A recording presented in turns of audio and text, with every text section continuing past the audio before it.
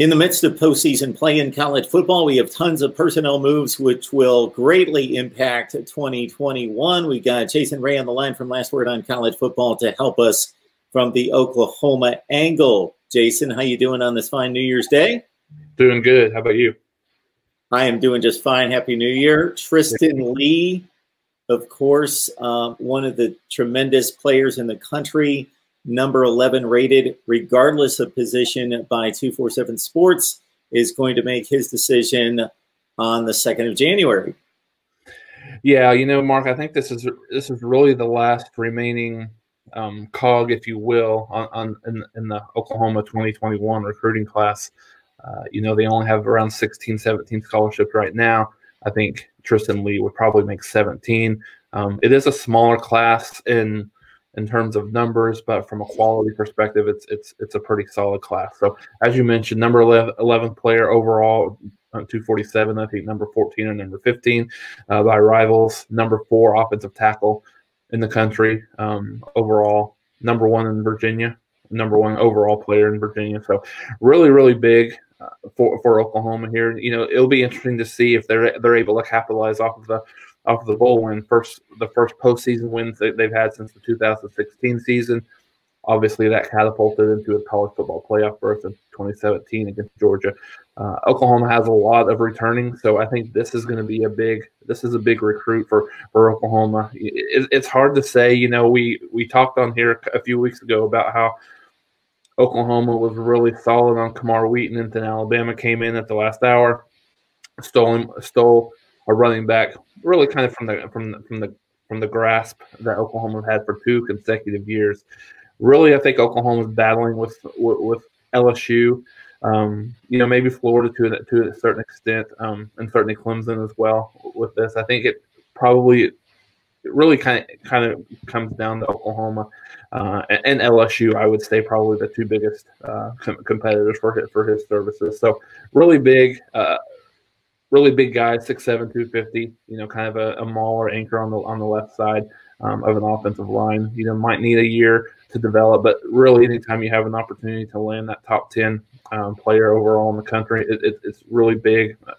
When you look at Oklahoma from a recruiting rank perspective right now, they're around ninth, 10th uh, area. I think ninth currently. If they're able to they're able to get Leigh, I think that would probably solidify a top 10 recruiting class. Certainly there's some other other folks in the in the late signing period that could um, that, that could go either way for some of the other teams. But yeah, this is considering this is the this is Oklahoma's last really big fish that they that they want to try to try to reel in. Really important to in that recruiting note recruiting season on a good note after a little bit of the sour taste um, in Oklahoma's mouth with, with losing Camar Wheaton. Again, Tristan Leigh, number one overall player in Virginia number four offensive tackle, as Jason has run down, and the 11th rated player, regardless of position. So consider all the positions. This is rarefied air. You see a lot of wide receivers and offensive tackles, maybe some cornerbacks in that uh, elite, elite of the elites positions in the top 50 or so. So just the fourth rated offensive tackle, which is certainly high, high praise, but to be the 11th overall player shows you uh, a high grade on offensive tackles here in 2021.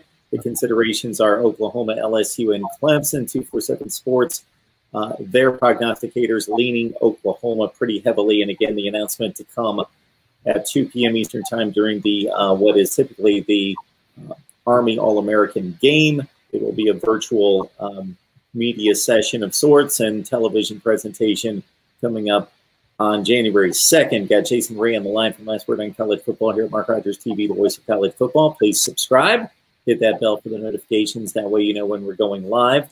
And uh, Jason, you had mentioned to me your last count on the quarterbacks who had uh, entered the transfer portal was upwards of 75. I know that I've heard counts of plus 400 and rising each day in the portal overall, and uh, it's affected the Sooners, of course. Yeah, you know, really, it really has. Oklahoma has in now has their third, maybe their fourth. Actually, it's their fourth player that has has entered the uh, the transfer portal. Tanner Mordecai did so last week. He's committed to SMU. Uh, really good spot for him. Um, TJ Pledger announced a week or, a week or so ago that he was going to enter the transfer portal. Uh, Jalin Conyers, not a whole lot of people know about him. True freshman tight end, uh, really just didn't get an opportunity this year. That was a little bit surprising how quickly he moved over. And then last night, Chandler Morris, who was who kind of served as the backup quarterback in the in the Cotton Bowl for Oklahoma, had announced that he was, was is going to move on. Not incredibly surprising with Caleb Williams coming in, but I think that uh, that puts Oklahoma in a little bit of a precarious spot coming into 2021 you know, really right now they only have one scholarship quarterback in Spencer Rattler uh, coming back. Certainly, Caleb Williams will come into the fold uh, next year, and certainly that, you know, just from a lack of numbers perspective, that solidifies his spot at the very least as the backup uh, heading into 2021. You know, really, um, I mean, it's it's unfortunate for Oklahoma, really, because it's a little bit of a precarious situation, right? You have a guy, you know, who is one play away from who, who's never has no experience whatsoever playing in 2021. So it'll be interesting to see what Oklahoma does. They've had uh, Tanner Schafer has he's a he's a senior. He's a walk on. Um, I, I wouldn't be surprised to see Lincoln Riley ask him to come back for another year, just from a depth perspective.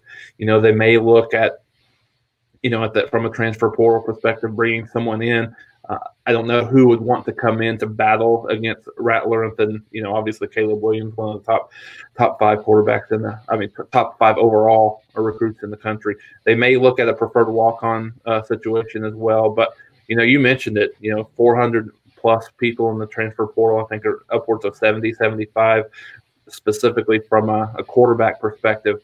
I think it'll be interesting. It's probably a year like no other that that we've seen. You know, there's with the pandemic allowing seniors to come back for you know additional 2021 season i think you'll see some seniors wanting to come back and maybe teams don't necessarily have room for them with the new with you know with the new players that they got coming in from a recruiting perspective so i think the, the portal will probably be as interesting if not more interesting than ever um, in this off season and w- what will end up being a, a very prolonged advanced recruiting uh, year for for all of these teams because I think there's a lot of teams like Oklahoma that's taking um, less players than, than they typically would, not even close to the 25 uh, that you would, that you, that you might normally see.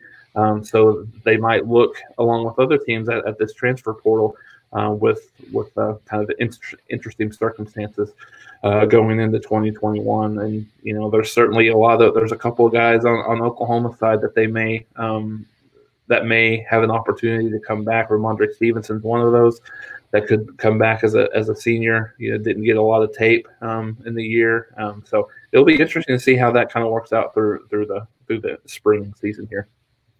Jason Ray joins us on a regular basis to update us on Oklahoma football. Please uh, join him on Last Word on College Football. Our friends over there, Last Word on collegefootball.com. Jason, we always appreciate the update, uh, keeping us um, right up to the moment on one of the uh, fine players in the country, Tristan Leigh, announcing on January 2nd. Appreciate that. Happy New Year. Happy New Year, Mark. Thanks for having me on.